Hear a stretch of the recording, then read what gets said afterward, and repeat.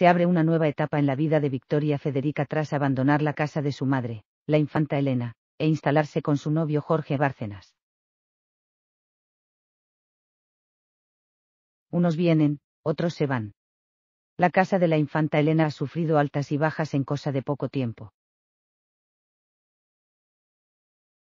La hermana del rey ha dejado ya de vivir con su hija Victoria Federica pero ha recuperado la convivencia con su hijo Froilán. Grandes cambios que, claro, han afectado al estado de ánimo de la infanta. De repente, su pequeña ha volado para instalarse junto a su novio y la infanta se ha quedado más sola que nunca. Victoria Federica ha tomado una decisión importante en su vida. La hija de la infanta Elena, tal y como informa Vanitatis, se ha independizado. La joven ha decidido abandonar el hogar de su madre para irse a vivir con su novio Jorge Bárcenas.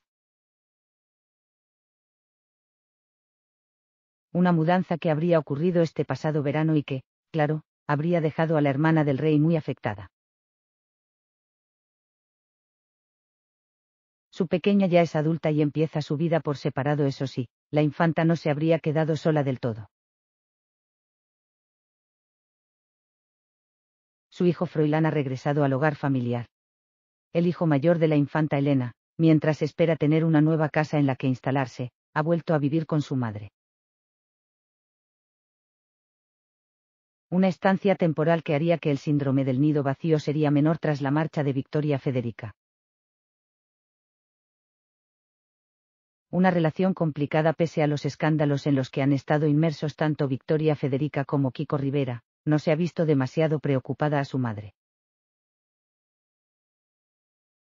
La infanta Elena parece que se ha mantenido siempre al margen de las vidas de sus hijos.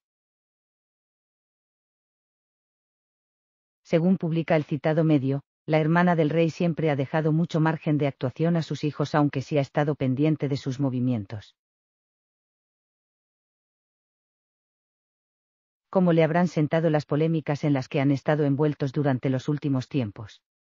Habrá tomado medidas para que deje de pasar.